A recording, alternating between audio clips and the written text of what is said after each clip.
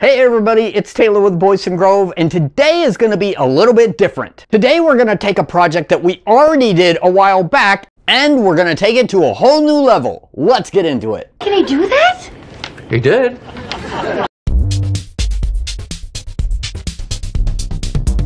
A while back we made this keepsake box and it actually came out really nice. It even has a nice little tray and felt on the inside, but there's a few things that I'm not really happy with. Number one, I feel like it's just kind of plain. It just looks like a regular box that you could see anywhere. Number two, I used some really strong magnets on the front but I didn't actually put a latch on it, so it's actually kind of difficult to open. Number three, I used the only hinges that I had on hand, which are way too big and they stick out really far. So today, we're not only gonna change all these things to make some improvements, but we're also gonna add some extra stuff to really kick it up a notch. He's taken it to a whole other level.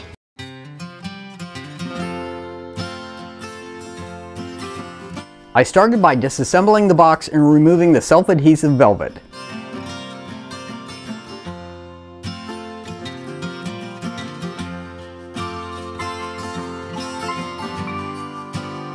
I used a chisel and mallet to remove the magnets.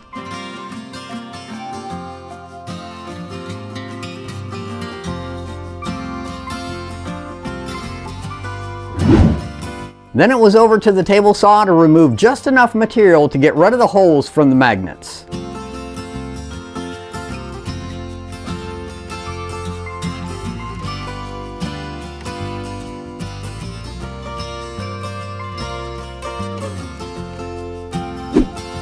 Because the lid was now shorter, the tray wouldn't fit, so I used my multi-tool to trim the ledges on both sides, making sure to give you the best camera angles possible.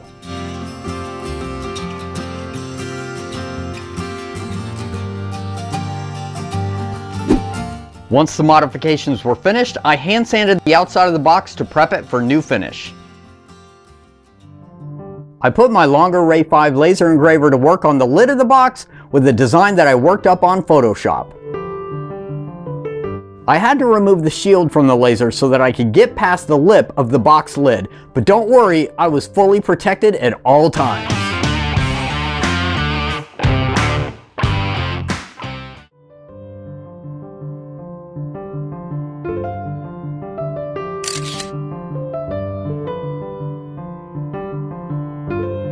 I'm not a big fan of the yellowish look of this oak, so I stained the outside with this cool blue gel stain that I picked up at Home Depot.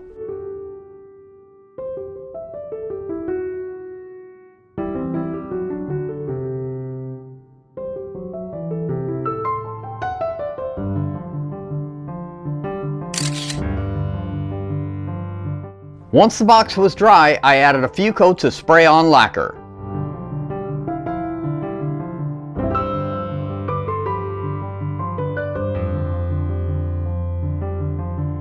I managed to rummage up a scrap piece of the same oak that I used to make the box, and I made a partition for the tray that will also act as a handle to pull the tray out. That's a great idea.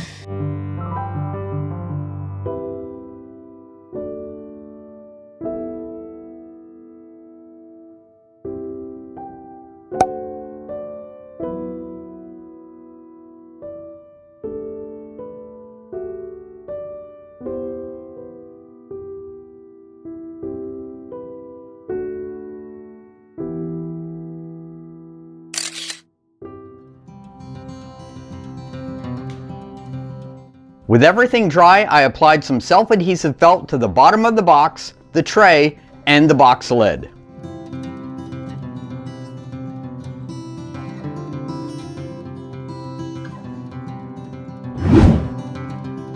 Then it was time for reassembly. I added some little black hinges to the back of the lid.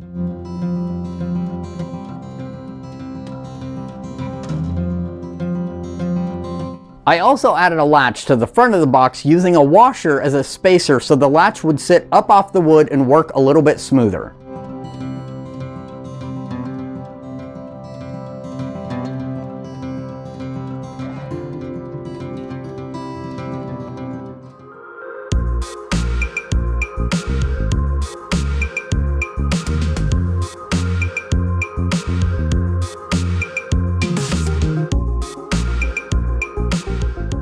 All right, our keepsake box upgrade is finished and I gotta say, I am really happy with the end results. For real this time.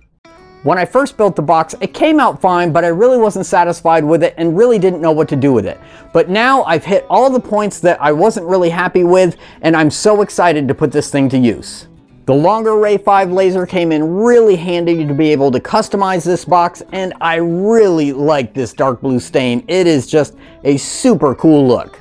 The hinges in the new latch are a big improvement upon the massive hinges that I had before in those really tight magnets. And adding this little divider in the tray made a huge difference, just makes it much easier to use. I hope this video encourages you that it's okay to revisit projects if you're not 100% happy with how it came out the first time. Let me know in the comments below what you think of the upgrades to this box, and a big shout out to Longer for supporting our channel. Thank you very much for watching, be safe, and have a great day.